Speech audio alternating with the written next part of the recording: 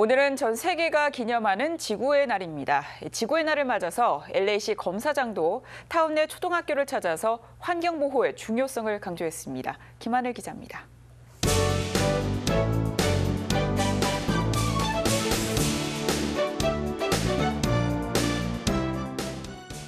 카르멘 트루타니치 검사장과 찰스 H 김 초등학교의 5학년 학생들이 학교 앞 화단에 한 그루의 나무를 심습니다.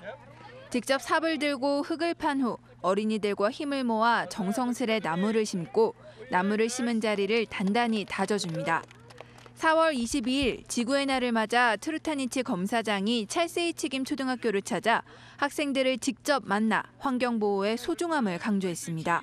It's important that we all understand that we're, as, as the citizens of this globe, that we all have individual responsibilities to make sure that the, our environment, our collective environment, is safe. 지난 1969년 캘리포니아주에서 발생한 해상 기름 유출 사고를 계기로 위스콘신주의 게이로드 넬슨 상원의원이 발의해 1970년 4월 22일 첫걸음을 시작한 지구의 날.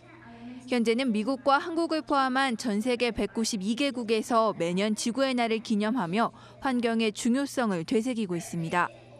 특히 전 세계에서 1억 명이 넘는 학생들이 매년 지구의 날이면 다양한 행사를 통해 환경을 보호하는 법을 배워가고 있습니다.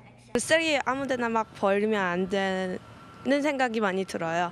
그리고 사람들이 그 담배꽁지 같은 거 그냥 땅에다 그냥 버리고 있는데 그걸 그걸 그렇게 버리면 어, 불도 날 수 있고 저희 지구는 단 하나뿐이니까 계속 여기 지구를 살려야지 이제 저희가 계속 여기 살 수 있으니까 뭐 그런 거 그 조금 알아요.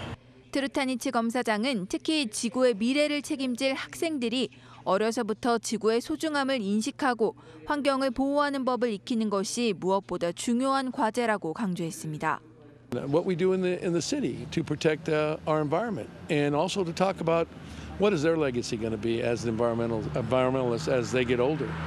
한편 첼스의 치김 초등학교 외에도 오늘 LA 곳곳에서는 산타모니카 해변 청소와 웨스트할리우드 공공도서관에서의 환경 영화 상영 등 다양한 행사가 열려 지구의 날을 기념했습니다. LA 18 프라임 뉴스 김하늘입니다.